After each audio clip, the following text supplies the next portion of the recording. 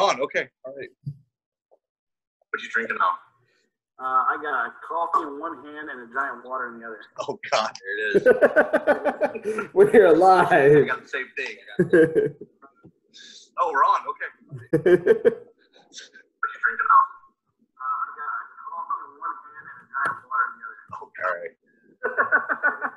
We're here I live. got the same thing. All right, so here we go. Oh, we're on. Okay. We are. Let's cut the sound there. So we can not hear ourselves here for a minute. Um. All right. Well, guys, welcome to our second week of Taboo Tuesday. Um, man, we are glad you are here, Pastor Israel, with us, and um, it is also, if you go to Victory Church, it is also talk. So if you have a wife or daughter or mother in the house, uh, man, send her over to victoryatl.com to watch all that and to um, jump in with the, the fun. We have all of our campus pastors, um, all of our female campus pastors and senior pastors are on there leading that tonight. And um, Israel and I were just talking about the fact that uh, we didn't even realize, uh, you know, there was Taco Tuesday as well. So um, while True Talk is having the home edition, we were this close to having the bathroom edition. But uh, but, but we went ahead and made some adjustments. Uh, so we are we are glad you guys are here. Last week we were talking a lot about shame. Um, this week we're going to be talking about kind of just behaviors that what drives you towards unwanted behavior. And um, uh, you know we're going to give you guys a few minutes to just jump in with us as we're getting going. Um, I realize that you know some guys are going to come back and watch us later on. We know fusion is happening for our young adults. We know um, you know all this different stuff is going on so we don't want to take you away from that but israel man how's your week going what's going on with you right now man Man, it's great. I am I'm in the throes of of uh, teaching my kids, um, you know, turning my house into a school. Uh, and so so far, uh, we got uh, two kids in detention, and uh, one of the teachers is sleeping with the other teacher. So I guess I guess that's what that is right there. um yeah I, I i don't know how many i've lost track of how many times my kids have had to go to the principal's office uh it is- Yeah. but for us anyway we're getting down to like the last week of, of school here so we're excited uh we can see the light at the end of the tunnel um so we are you know we're just trying to push through and finish well that's that's that's kind of where we're at right now but um Yeah. Next Wednesday, right? Is it next Wednesday? next Wednesday, I think is a, is officially if you're in Gwinnett County here in Georgia. I think that's that's when it is officially for us. Uh, man, our, our kids go to the Victory Christian School, um, and they're actually done with classes this Friday. So, man, we are stoked about that. But uh, Yeah. But anyway, um, so guys, the reason why we call this Taboo Tuesday is we kind of want to, you know, we're we're wanting to have conversations about the things that maybe you would not normally talk about. Um, we're we want there to be a safe place uh, where you can come and this is not a sermon it's not a message. Uh, we're gonna tease each other everybody around. You know if you go if you go and start commenting we'll probably go after you too. But uh, but we're really, honestly we just want to talk about the, the things that men are going through the things that men are dealing with and um and like be honest about it not some just religious surface level answer but we really want to talk about what is it that drives your behavior? What is it that makes you feel the way you, the way you do or makes you respond the way you do um you know in in the heart of true talk we almost call this guy gab or or testy talk or something like that but then we thought that you know that might not maybe that wouldn't be a good on the flyer so we just decided uh you know we'll just stick with uh taboo tuesday but we want to help kill the taboo in your life is really what it comes down to Yeah.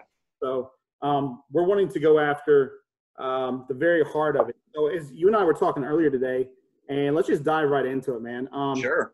You know, we were we were basically saying in times like this, people are trying to escape. They're looking for Yeah. anything they can. So so what is it that drives men towards? Let's just let's just say one of the most common ones um, that we don't talk about nearly enough in church is what drives men towards pornography. Uh, Yeah. as an escape, as a bailout. You know, I think um, interestingly enough, the association between there is an association between lack of purpose and pornography. Hmm. And um, and really, what I mean by lack of purpose, I'm going to kind of describe it with a few things. I think it's we we lose vision for ourselves, like where we're going, where we're headed, um, what's our aim, what's our goal right now in life. I think we forget about that completely. And and also under that, I think another word for um, like lack of purpose, a, a good word that matches that is futility. Um, I don't, I don't think we talk about that word enough, but futility is basically uh, like this. It's this idea that everything a man attempts to do in his life will eventually be marked with difficulty, pain, and meaningless. Like, like think about this. Futility is is no matter how hard you work at something, right? No matter how hard you labor at something, that it's it will return fruitless and meaningless. Like there'll be no purpose to it. And if you think about like all the major tasks you've risked to accomplish, there's always been that that that that place, that point where on, you're on the cusp of quitting. And before you quit, the reason why you quit is because you hear that little white lie that says, it's all gonna burn up. None of this is gonna work.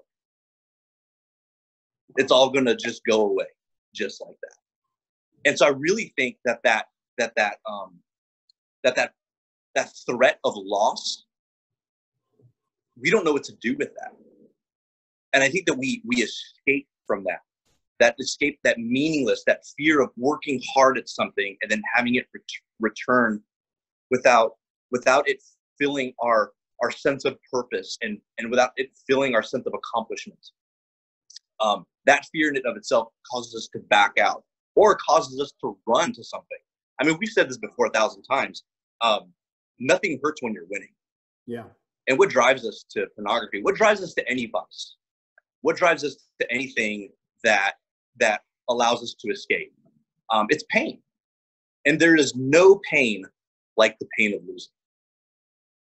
And futility is like this overarching thing that says, in the end, all your hard work is going to lead you to loss.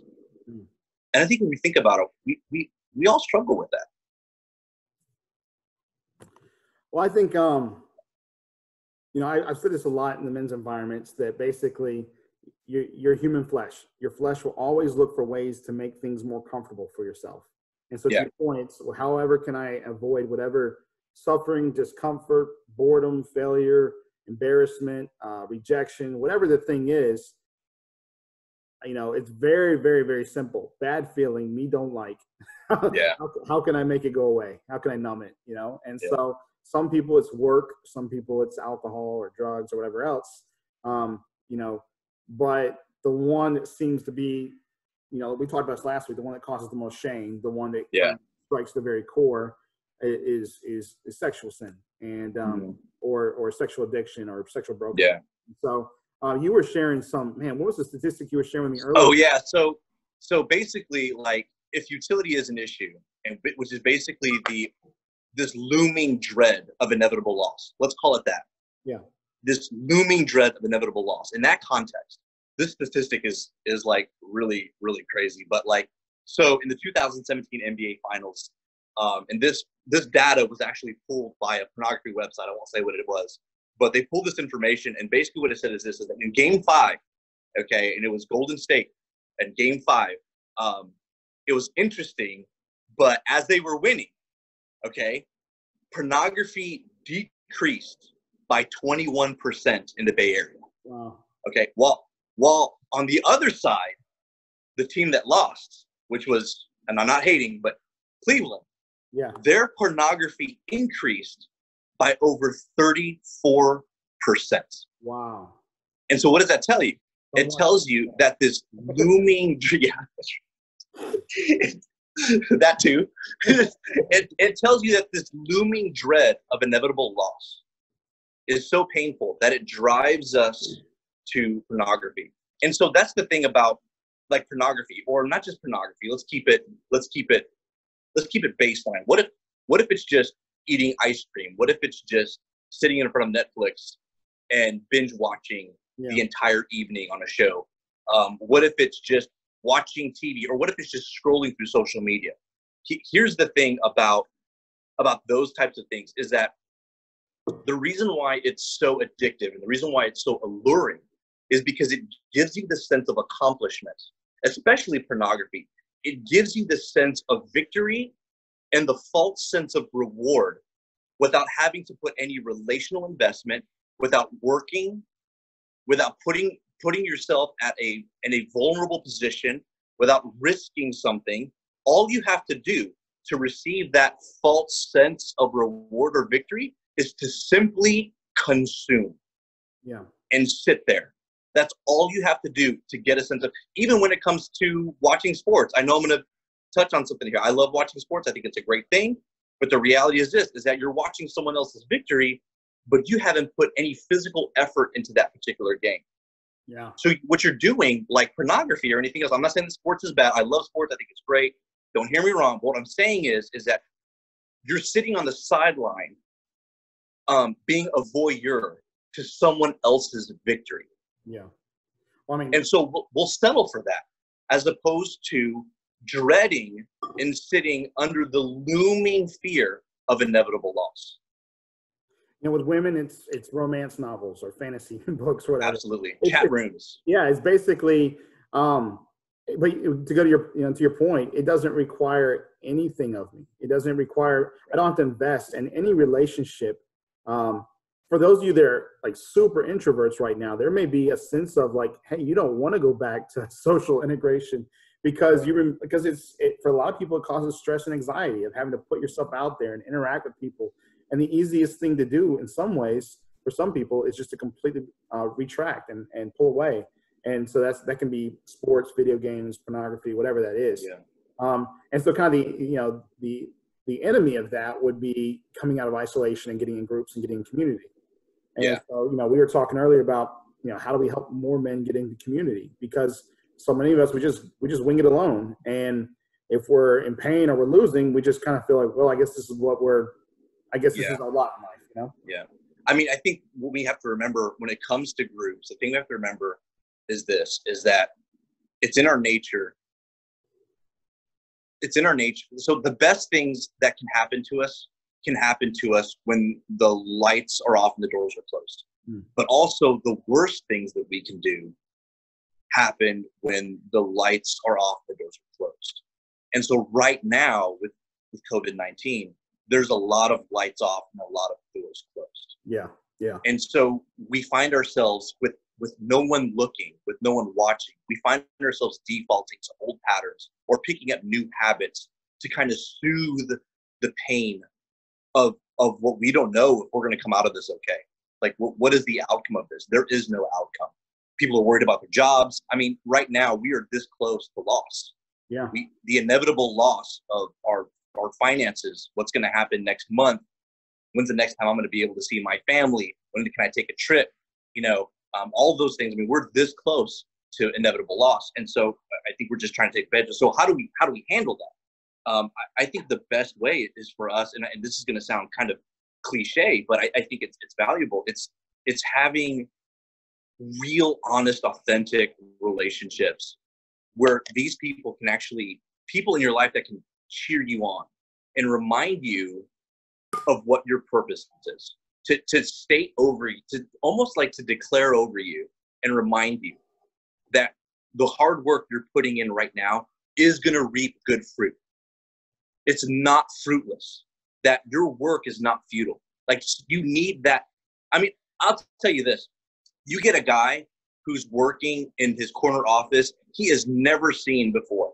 And this guy labors and labors and labors and one day the vip the like the like the vice president the vp the executive whatever the executive chief like he comes by puts his hand on your shoulder and he says hey man i just want to let you know man like i see you dude. Good work. And he just walks away. And you're like um, and then all of a sudden your your back tightens and you posture up and then boom now you can push another eight hours no problem. Yeah. Because all of a sudden you're seen you're told and reminded that all your hard work is going someplace. And so what we're doing is i think we're there's there's there's some form of disconnection. And i think that men do this well. We can still be around guys yeah. and still be disconnected.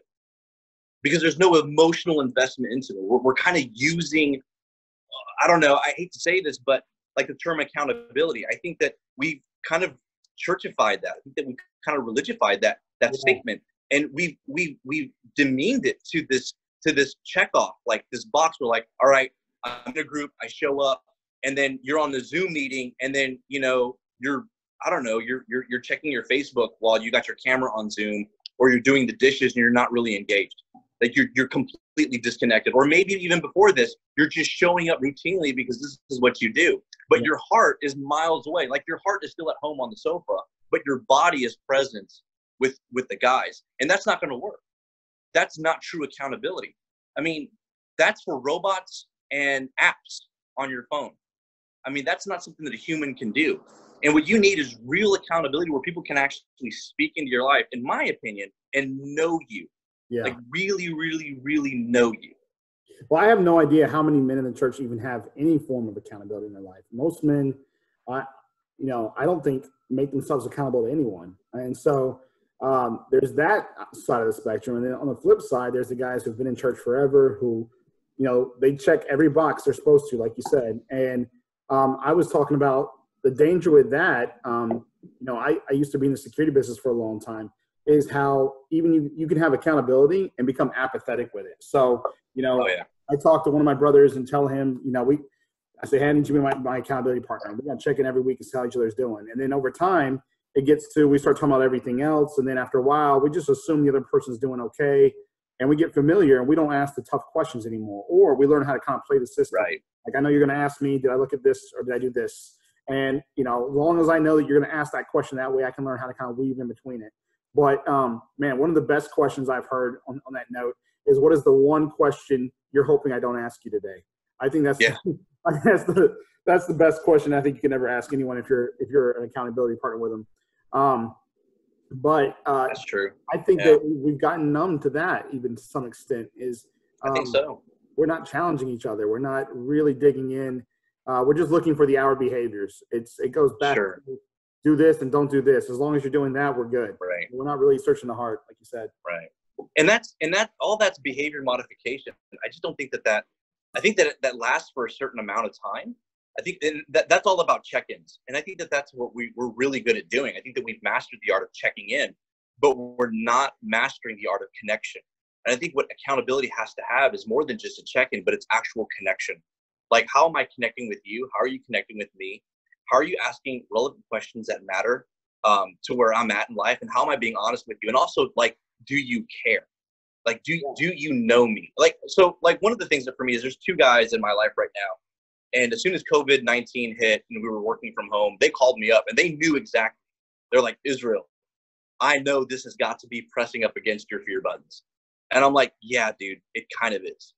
And they already knew. They know my story and they know where I'm going. They know where I'm from. They know where I'm at, and they know where I want to go. And like those three, like, like they, they those three, like almost like understandings about me, like really connect me to a person. Like this guy comes from this. Here's where he's at right now with his family, and here's where Israel really wants to go in life. Yeah. This COVID 19 is jacking with all of that. So let me call him, check in on him, and encourage him. And then they really, it's not, how, how did you do today?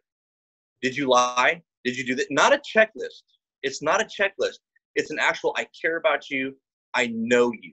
And that's the thing about relationships and true, authentic accountability is that it requires you to be relationally invested into another person.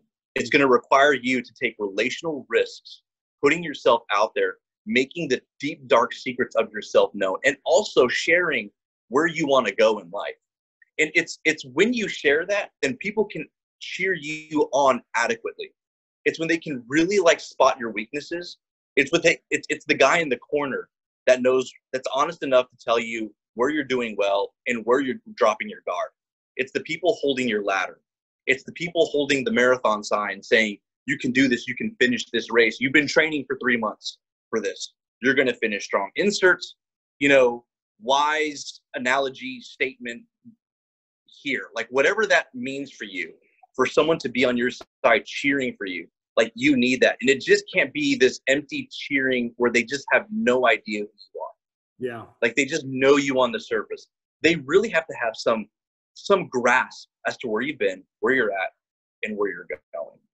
Well, I think um, you know when we were just uh, talking earlier, I, th- I think it really comes down to um, if you're saying that pornography is the escape, and we're trying to avoid the bad feelings, then you know what, what I've heard you say many times before is that what are you going to replace it with? And so, um, Yeah.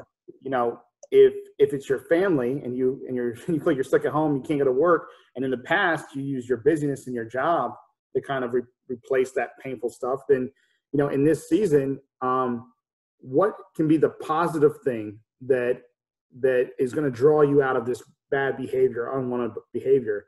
And so basically, I mean, it, for us with Men United, we're constantly saying believe, belong, and lead. Those are our kind of our core values. Right.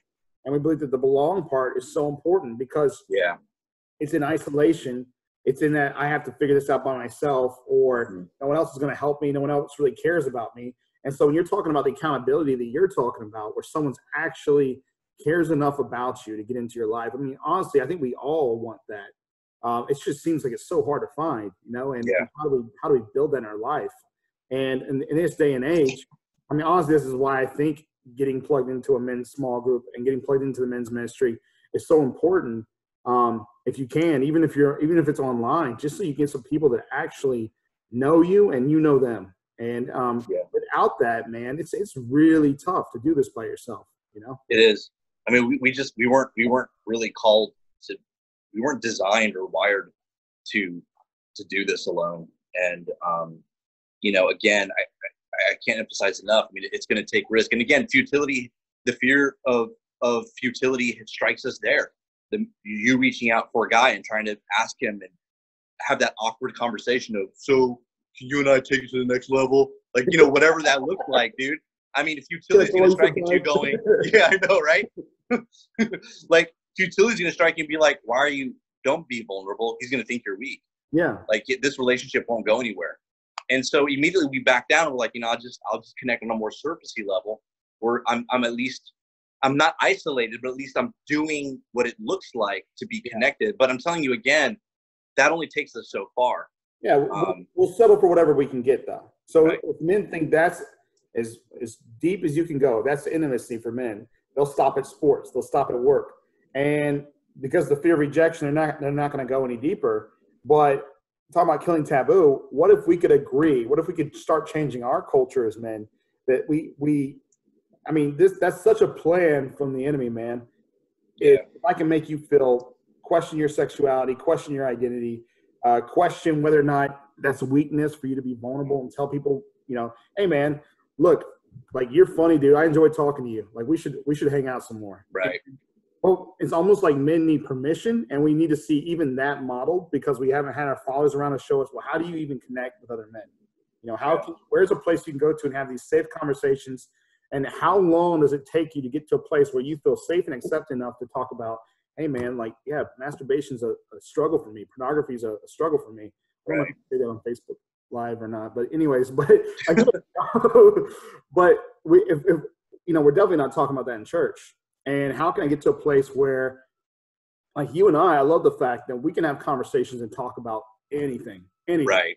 and um and nothing you know nothing's off limits we know each other's heart we know even when we're joking and stuff like we know each other and how can we you know we need to break down all the garbage that keeps men from engaging that way um Yeah. so No, you're right. You're right. I mean, you know, it's it's and there's that scripture, and I'll it's Luke five nineteen, and I mean, I suggest I suggest people. In fact, I'm gonna I'm just gonna read it, man, because I, I believe I believe in reading scripture out loud, and it Yeah. it just says, um, just then some of the men carrying a paralyzed man on a mat, they tried to bring him inside to set him before Jesus, but they could not find a way through the crowd, so they went up on the roof and lowered him on his mat through the tiles into the middle of the crowd, right in front of Jesus. And so when I start like when I start when I start like thinking about that, I think about a crew of people who really know this guy, who have made several attempts to get this guy in front of Jesus, and they unsuccessfully couldn't do it. And so finally, someone has this great idea to say, you know what? Let's break the roof off of this place and lower our friend down and interrupt the greatest Messiah ever, the greatest teacher ever, interrupt him and lay him right before his feet. I mean, the the just the fact that this guy had such support, knowing his past, knowing where he was at right then and there, knowing his future, knowing where his where he wanted to go, they were relentless and not letting this guy just sit there and be paralyzed. And I mean, how many of us can say that we have those types of friendships right now? That they know us so well that they're willing to to interrupt a teaching from Jesus and to lower us. Like it's ropes. Like nobody carries ropes with them. Like someone had to go fetch ropes. I mean, someone had. I mean, this was a methodical plan. This was this was it. I mean, th- you know, uh, and, and to have a group of people surrounding you, ensuring your success, reminding of you. And I can see the guy on the mat going, "Y'all just forget it. Like, just look. Like we tried going through the front door. The crowds are too thick. Y- y'all just you go, you go." And they're like, "No, Yeah. you're gonna walk." Yeah. you're gonna you're gonna walk out. We're gonna carry you in, but you're gonna walk out. Even if we gotta break through this tile roof, we're gonna make sure you walk out of here. And I'm saying is that what we need are real people that can come alongside us, not checking off a list. How'd you do this week? How, how's that going? Did you lie about anything I said? Like not that. Like really, like dude, I know you.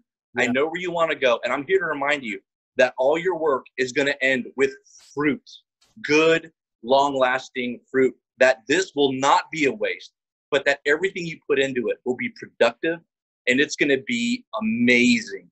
And I declare that, like I'm declaring that with you, and we're not going to quit. Like that, that truth, like we got to get into those squads. And honestly, dude, like you're leading that up. You have you have that now. You have people that are ready to just receive people who want that type, that level of relationship, of male camaraderie in their groups. And so everybody just has to be on board with that. Well, you have to be willing to get desperate too. Like Yeah. you have to be so desperate, like a guy who's like, I'm paralyzed and I can't walk. You need to be as desperate as him and as desperate as his friends. Because those are usually the only guys that we actually see. We usually Yeah. only see guys that are that are desperate for something because their world's falling apart or because they feel, you know, the guys who aren't feeling the pain enough yet, man, they, they will continue to Yeah. just live with whatever and you know, people will live with a limp if they get Yeah. used to it. You know, they'll, they'll Oh, just yeah. adapt to it. And so they don't have a vision for more and they just settle for, well, you know, this limp isn't so bad. I mean, honestly, I'm guilty of that. I, I injured my knee in 2009. My, uh, my drunk cousin tackled me when I was still with the nightclub. So as I'm walking, We all have the drunk, we all have the drunk cousin that tackles us. And I mean, I was so angry. I've been a bouncer, a football player, a Marine, never got hurt. And I'm walking into a bar, and my cousin next to me tackles me. I tear something in my knee. And that was in 2009. Here we are 11 years later, and I still limp on stairs sometimes because I never, I learned how to live with it. Never went to a doctor to have it healed. It was like, ah, I'm not going to spend the money. It's going to be a lot of work and rehab. And so that to me is the greatest example of what we do as men. We're like, you know what? It's a little painful, but for the most part, I can function. So this is good. I'm, you know, I'm comfortable enough. There's some days where I really feel the pain when it's raining outside, but for the most part, this is normal. So it's okay. Yeah, yeah, yeah. And again, it goes back, and I think, it- and even for me, like, and I, I had something similar. And for me, I, I just thought to myself, all the physical therapy I'm going to do, Yeah. it's not going to work. like every time I work, like I, I- even now to this day, they're like, Israel, you should see a chiropractor for that. You in my head, I'm going, and my, my mouth goes, yeah, I'll do that. In my head, I'm going, I don't believe in that voodoo. Yeah. Like, That ain't gonna work. But I, it does. I and I just I just think it's there's futility strike. There's futility striking at me in that moment, thinking that none of that's gonna work, yeah. and that's that's a lie. And that we need I need an, an external voice, external voices telling me, no, Israel, it does work. You're headed someplace. Um, so I think for us, you know, we can keep saying guys getting groups, guys getting groups, and, and I absolutely agree. But um, you know, a lot of guys on the call may be saying, "Well, listen, man, I did the men's group thing when I was younger, or I've been in camaraderie, and honestly, it wasn't a good experience for me." And you know, to that, what would you say? Because I think we've all I mean, stories. I mean, I see a lot of, I mean, just because you come into a group, that you walking into the threshold of someone else's home or showing up on a Zoom meeting isn't automatically going to solve all your problems. Yeah. Like you got to engage. You got to put in a little bit of effort. Again, this is not binging on Netflix. This is not pornography where it rewards you for just sitting down. Um, this is you got to actually be involved, get connected. You got to share your stories. You got to be vulnerable. I mean, just because you get you get a gym membership uh, and you buy the little shaker bottle and you drive home doesn't mean that all of a sudden you have a six pack. Like you've got you've got to put some sweat into that place. You got to leave puddles of sweat. You got to put in time. You got to follow some sort of workout diary or journal. Uh, Yeah. you got to eat right. It's holistic, and it's the same thing. And I tell guys, give it. I, I tell guys this, even when they come into my specialized small groups, I tell them it's like, look, the first thing you're gonna do is think that this isn't working. Guess what? I, don't want to have that conversation until at least six weeks. Yeah. In six to three, in six weeks to three months, let's talk about how we, how are you doing with this. But for the first few times that you go and you don't feel connected, I'm sorry, it just doesn't work that way. Well, I mean, let's- make it really practical then for everybody watching. Um, whether you're on, you know, whether you're like, "Hey, I'm good," or you, or this applies directly to you. If you're not in a men's group, you know, unless you're in a group with your wife, um, here's the thing about being in a group with your wife. That's incredible, and I think you should. But even in those groups, you need to have times where you separate and you're just with the guys. Um, and I get it; it's scary. You know, there needs to be a safe place where you can talk, but um, man, get in the men's group and give it six weeks to Israel. Six weeks to Israel's point. Like, Yeah. unless it's just absolutely listen, there is no way I can talk to these guys. Then try Yeah. another group and give them six weeks. But don't just say tried it twice, didn't work, throw it out. Like, listen, man. The easiest thing for you to do is to walk away from here and continue doing life the way you've been doing it. and so, what we're challenging you is to make some waves and do something different. Get some accountability in your life but not just to say I have accountability. Like get some really what we mean is get some brothers in your life. Like Yeah. get some men that are really going to talk about something that actually matters and not just the Yeah. fact. You know, we don't even have sports right now, so there's nothing that you know. You can't. There's an excuse to not stay shallow. You can actually go deep and say, "Hey, man, so how are you really doing? How are the finances? How's the family? Yeah. How's your mind? How's your heart? You know." Um, and we would challenge every guy on here to do that. And for the guys who've been in church forever, you know, playing the game, um, or you just have it down and you feel like, oh, I can't do that. I'm beyond that. Um, I should know better and, and all that. Man, Jesus came and he he like basically butchered the religious folks. He was all over about the fact that they knew all the rules and all that, and they were dead inside. And so, for those of us, man, the professional churchgoers, the, the, the ministry leaders, and all that, man, we, we I think we have to be even extra careful um, because we're really challenged and tempted to be fake and just to say everything's good when it's not. The guys who are new to this, man, I, I, I'm much more comfortable talking to a man in a bar, to be honest, because he will shoot so straight with me about what's going on in his life. He'll he, no holds barred, man. He will say Right. anything to me. I come Yeah. into a church, and it, you have to dig deep to find out what guys are really going. through. Yeah. That's true. Yeah, that's so true. And I mean, and I think it just takes some training. I think you know it's easy to talk about it. We we've only got a few minutes to share that, but Yeah. you know, actual having actual connection versus check-ins. You know, that's hard. I mean, that's a new language for a lot of men. It just takes some time to understand like what does that look like and how do I do it? Like walk me through that. And you know, one one of I think you know one of the things that you can you can simply say and have and work into a conversation is, hey man, um, tell me about one of your greatest setbacks. Tell me about one of your greatest comebacks. And also just where do you want to go? Like where do you feel where do you feel god is calling you? Yeah, what personal goal do you want to achieve? Yeah. um, e- either tomorrow or the next five years just one thing you want to achieve.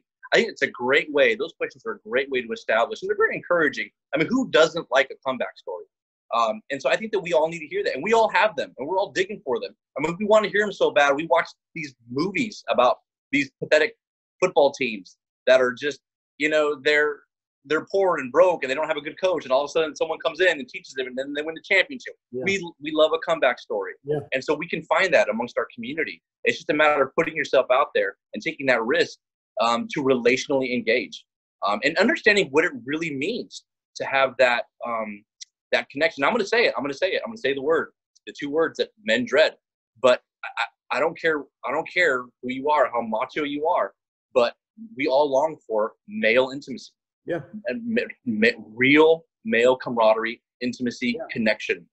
We long for it, um, and we're not the same without it. our culture tries to distort that and d- destroy it so that men you know rather than risk being labeled as something or becoming something they don't want it to be they'll just Mhm. avoid it altogether Absolutely. and that comes down to every relationship in our lives and so man the enemy's done a number on us man he shut down men's ability to really connect in relationships, period, with with their wives at times, their children, and with their brothers. And um, we really want to re- we want to retake that, restore that, see that redeemed, um, because we need it. And if you've ever had it, uh, there is you never want to go back to, to living without. Right.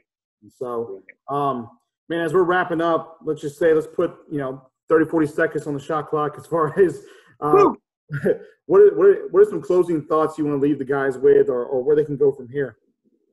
Um, I would I would just say I, I would I would say that when it comes to pornography, when it comes to um, unwanted behaviors, um, or any form of sexual brokenness, the underlying cause of that is relational brokenness. Hmm.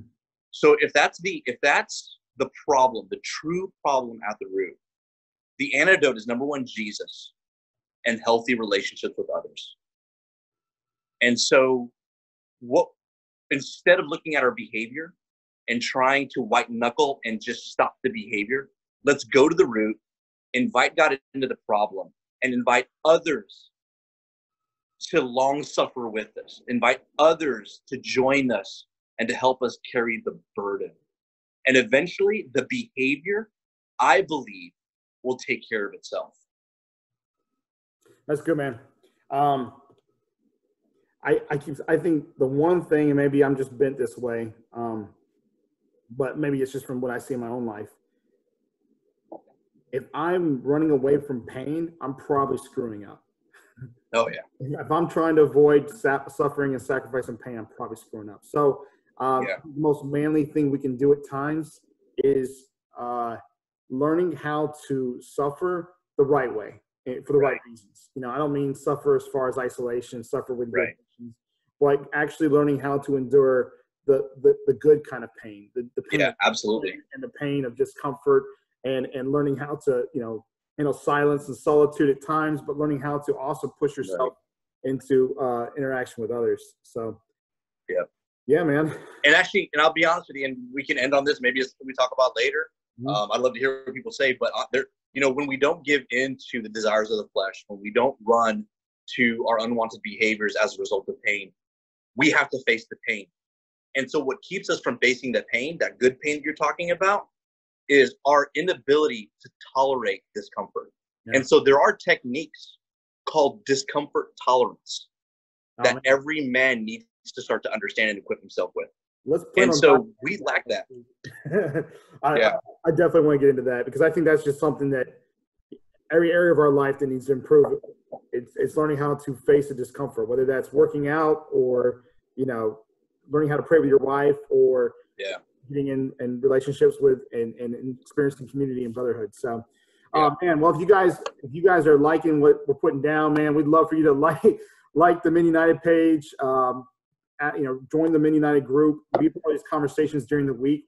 In the group, we have a lot of conversations where we're just commenting, and we want to hear from you, hear things that are relevant to you. And and if you're watching this video later on, man, uh, feel free to comment. We'll come back in and respond to you later on, or Yeah. Ministry will. And um, and if you are isolated and you and you and you're sick of it, man, uh, go to victoryatl.com and find a men's small group and get plugged in, get connected, and and start living your life differently than you have. So, um, man, we love you guys, whether we've ever met you or not. We love you because you're our brothers, and um, we have experienced, we have been where you are, and at different times, and we can relate to whatever it is you're going through in some degree or fashion. You may not believe us, but I promise you, we can. One of us can relate to whatever you're going through in some form or fashion Absolutely. Absolutely. even if it's not the two of us on the screen, uh, just the leaders and stuff here. Yeah. But uh, anyway, man, um, guys, thanks for joining us. Let me just pray for you real quick, and then uh, we will hopefully see you guys next week. We're back here in the morning with um, with a Bible study. I think uh, Octavius Walton from our Midtown campus is going to be leading that at 6 a.m. So y'all let me know how that is. I got to make myself get up earlier tomorrow. But uh, Father, I thank you for my brothers. I thank you for conversations like this where we just get to uh, just talk from the heart, talk about what's in our mind. Um, even though it's it's just a conversation, and for some people that this may be a weird thing to watch, but um, for me, it's it's in a lot of ways it's better than a sermon because uh, Father, we're just talking through what you're doing in our heart and what you're doing in our lives. And so I pray that you would help us to speak in words that people can hear. And even if we said the wrong words or we didn't say enough, that you would you would take that as a seed and you would finish that work in the men's hearts that are listening. So bless their conversations, bless their thoughts, protect their minds, protect their purity and their decisions, give them the strength they need to make better decisions and to start shifting and changing behavior and to make them desperate for a new way of living. Um, so, God, we give you all the glory for this. We thank you for all that you're doing, and it's all for Jesus.